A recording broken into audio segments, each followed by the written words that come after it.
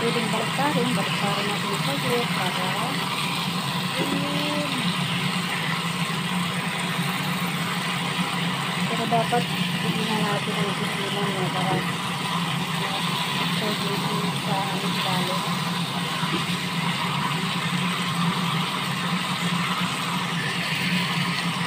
Parang nakatakam na ako. Dito na talaga ako.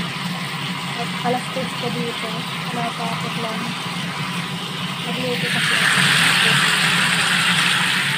Talaga ako.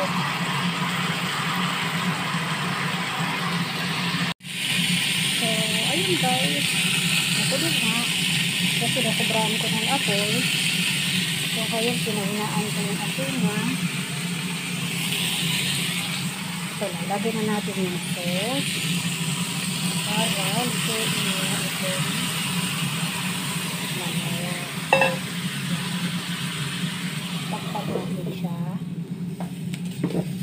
Tapos ipa number 3 na lang muna natin.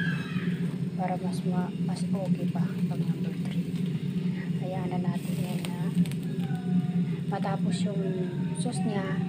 Tapos babalik rin natin yan maya maya mga 10 minutes. Balik rin natin maya maya para sa kabila na naman yung ma-observe niya yung sauce niya. Ko lang to kasi parang ewan ko parang gusto ko ng inasal. Yung manok nila ang sarap eh, nakakamis pero yung amoy niya amoy smoke na yun tingnan niya binaliktad ko na siya parang ang sarap ayan takpan natin ulit dito pa-observe natin yung sauce niya kasi parang may natitira pang sauce. Hindi pa to luto ah. So, ayun mga mare, hindi ko kanina na i-video. Nailagay ko siya dito sa air fryer kasi parang nasusunog siya sa ano ko, sa fan ko. So, dagdag marites na naman to. So, ngayon parang nakita ko na nasusunog din tingnan na lang natin, tanggalin natin kasi naman tayo kumain ng sunog-sunog. So, okay na yan, di ba? At least, sunog pa rin. Ay, iluto na siguro to. Posible di pa ito maluto, piste. Ay, sorry.